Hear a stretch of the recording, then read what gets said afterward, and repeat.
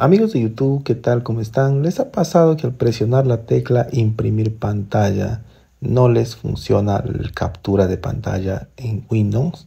Lo que pasa es que no viene a veces por defecto activado.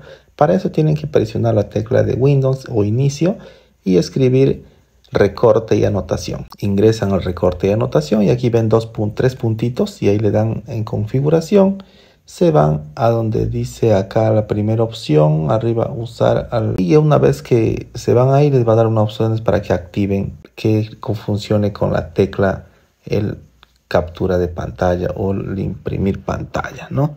Como ven ustedes ya funciona, ¿no? Y, y de esa manera es como se puede activar el capturar pantalla en su Windows.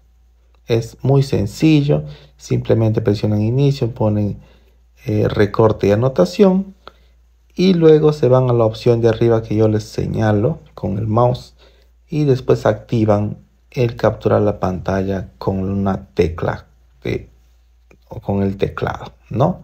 Eso es todo, amigos. En realidad es muy sencillo.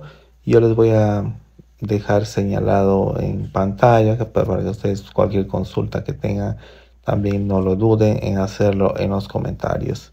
Espero que realmente les sirva este video. Chao.